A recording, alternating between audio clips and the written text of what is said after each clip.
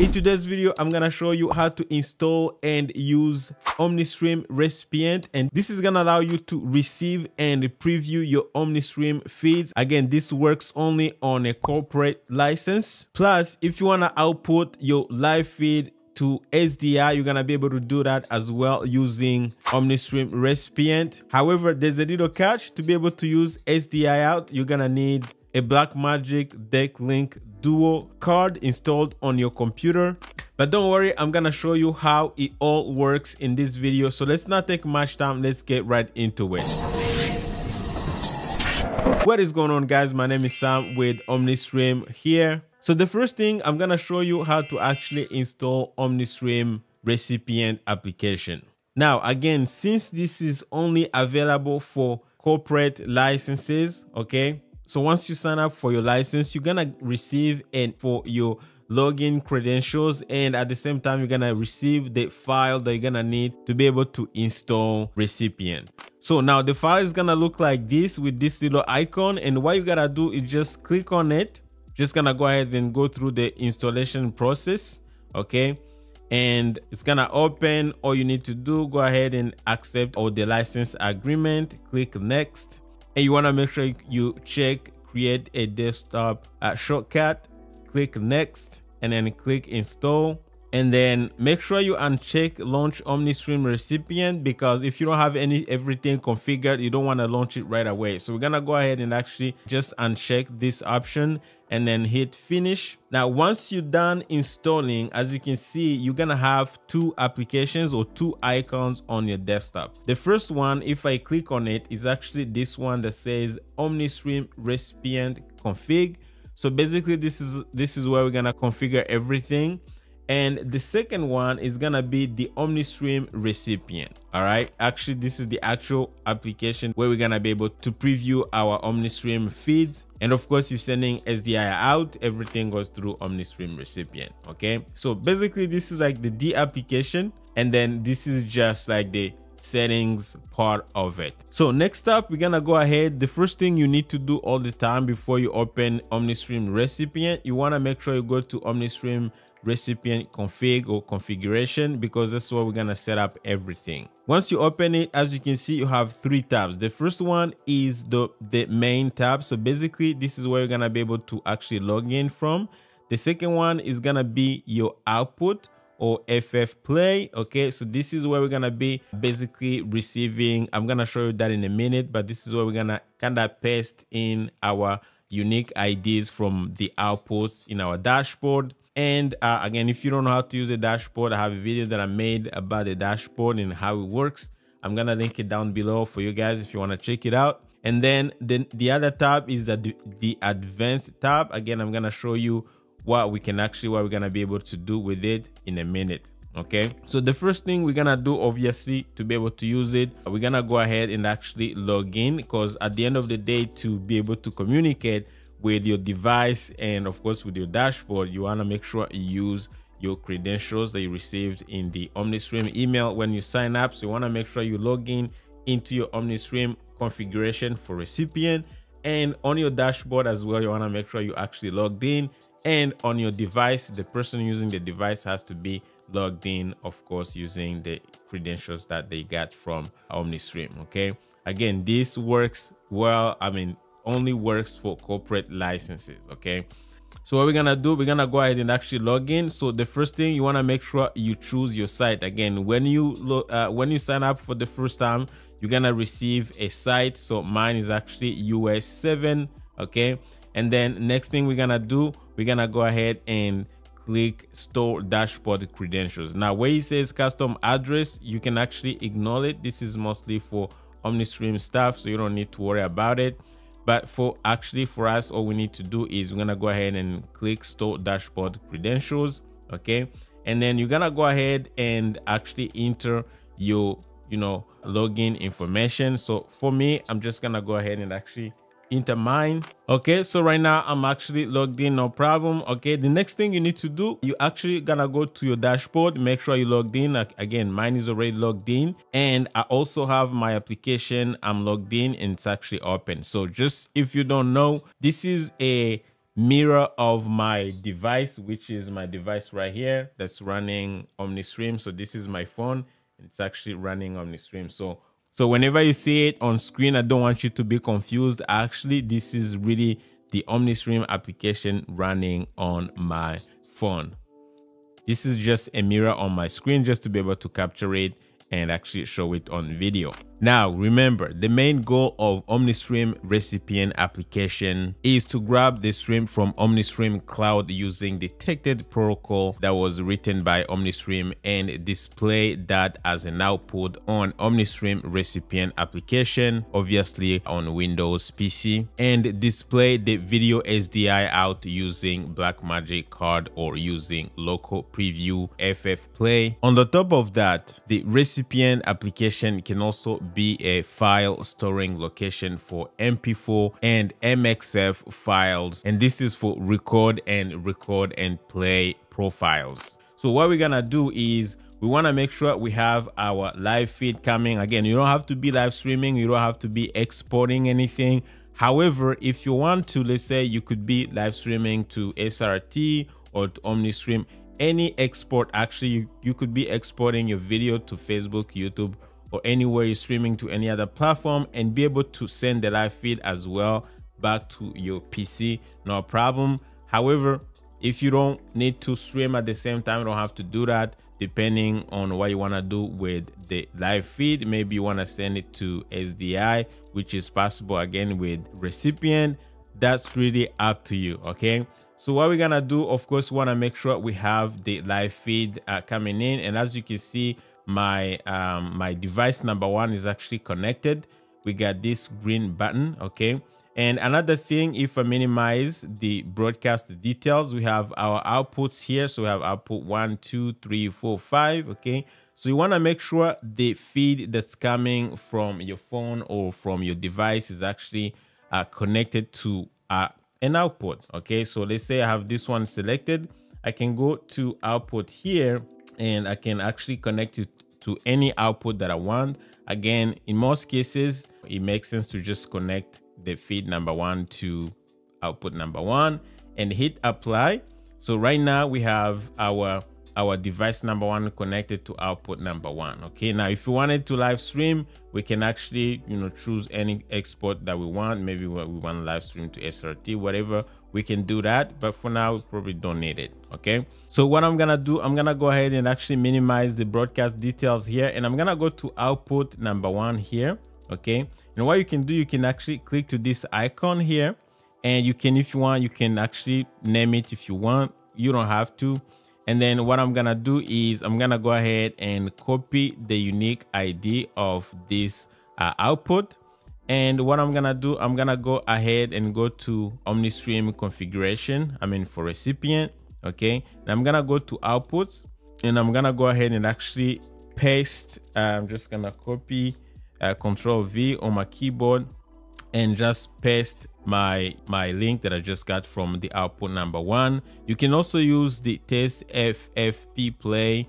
just by you know clicking on it and it's gonna show you you know this screen just to make sure it actually works okay you can do that so what you gotta do you're gonna go ahead and actually copy your unique id in here okay? And then what you gotta do you're gonna go ahead and actually click confirm. And as you can see you're gonna get this message that says changes will take effect on your next startup. So this is why you cannot actually open omnistream recipient application before you do all the configurations in here okay? So i'm just gonna go ahead and actually click ok and what I'm gonna do, I'm gonna go ahead and actually minimize everything here. And what I'm gonna do, we're gonna go to OmniStream recipient now, the actual application, and we're gonna go ahead and click to it. Just double click to it, okay?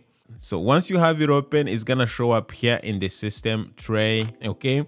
And then if I go to it and just right click to it, you can see if you want to exit, you can go here just to exit, to close if you want to go to logs you can go ahead and actually check out what's happening. So this is mostly for it's kind of advanced okay? But this is where maybe omnistream if you have an issue uh, omnistream people are going to be able to check their logs and see what happened okay you can also go to this icon here. Again right click and go to where it says speed test. Now the speed test is a good tool to see the download speed from omnistream cloud recipient pc and as you can see it's gonna give you the results no problem.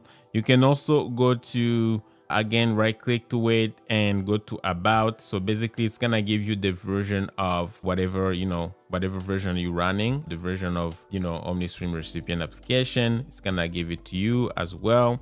So that's pretty much it. So now recipient is actually running. And if i go back to my dashboard here okay and what i'm gonna do is i'm just gonna go ahead and click this play button okay and see if we can actually get a feed back into recipient. So as you can see now i have a full screen preview. As soon as i click that play button as you can see really i'm gonna get a full screen preview okay? Again i do recommend you have like multiple monitors when you're running omnistream recipient because that's where you probably have one monitor kind of managing everything the dashboard and everything and then you can have another monitor kind of display a full screen preview of whatever feed that you actually choose to preview.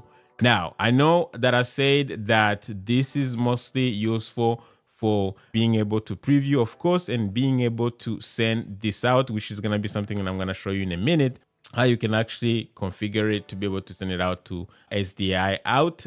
Of course, again, you're gonna need to have the Blackmagic Deck Link Duo. I mean, it could be the Duo or any Blackmagic Deck Link card that supports, of course, it has to be SDI. And with that, you can actually export directly from OmniStream recipient to SDI out. And then with SDI out, you can actually do whatever you want. Maybe you have an SDI switcher that you can send that feed into and mix with other feeds. Maybe you're running a broadcast, you're gonna be able to do that, okay? But with this feature actually being able to have a full screen preview, you can actually be able to do something like, let's say like right now I use my ATEM Mini, which is an HDMI switcher. If your computer has an HDMI, multiple HDMI out, you can actually connect an HDMI out from your computer into the ATEM or any HDMI switcher. And you're gonna be able to get that feed actually full screen into your HDMI switcher. That's another way of doing it. Again, this is a hack.